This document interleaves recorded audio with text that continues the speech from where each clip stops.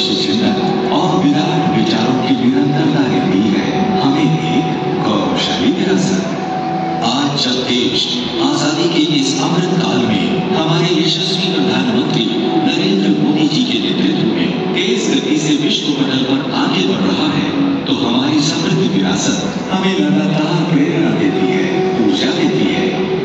हमारी इस विशिष्ट विरासत के एक सशक्त आधार स्तंभ है।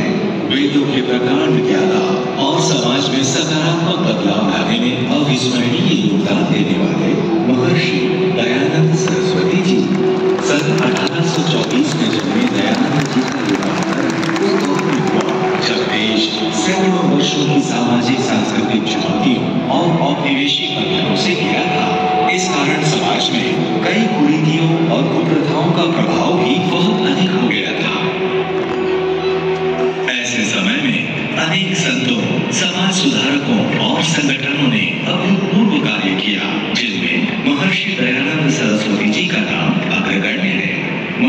जी ने न सिर्फ़ समाज में व्याप्त बुराइयों पर तार्किक प्रहार किया, बल्कि जन जागृति की अलग जगाकर बुराइयों के समूल उन्मूलन के लिए अपना संपूर्ण जीवन अर्पित कर दिया।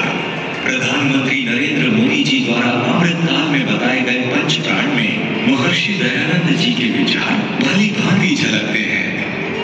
विकसित भारत गुलामी की मानसिकता से मुक्ति, विरासत पर गर्व एकता और एकजुटता पंचप्राण एक प्रकार से दयानंद जी के महान विचारों को रेखांकित करते हैं।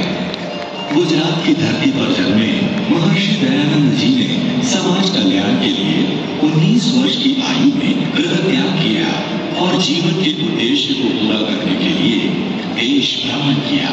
तत्कालीन परिस्थितियों को समझने के लिए उन्होंने देश, धर्म, संस्कृति, सभ्यता, इतिहास और भूगोल का गहन अध्ययन किया। महर्षि दयानंद जी ने देश के राष्ट्रीयता के भाव को लगातार जागृत किया। उन्होंने भारत की मूल संस्कृति के केंद्र, गुरुकुल और गौशालाओं के निर्माण के साथ ही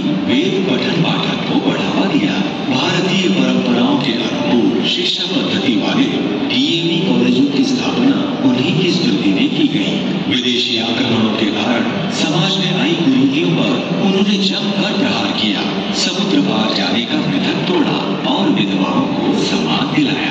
अपने विचारों को आगे प्रचारित करने के लिए उन्होंने आर्य समाज की स्थापना की, जो आज एक बड़ा आंदोलन है और एक विराट वट वृक्ष की तरह हम सभी को अपनी छाया प्रदान कर रहा है।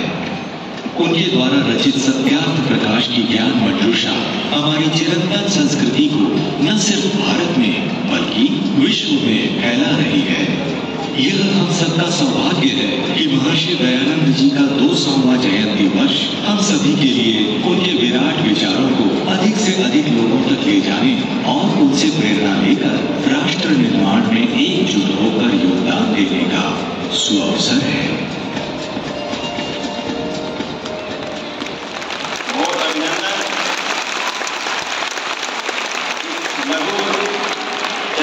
माध्यम से श्री दयानंद के विचारों को भारत की सांस्कृतिक संपदा को आगे बढ़ाने का जो संदेश है, उसके लिए पुनः आभार करता हूँ।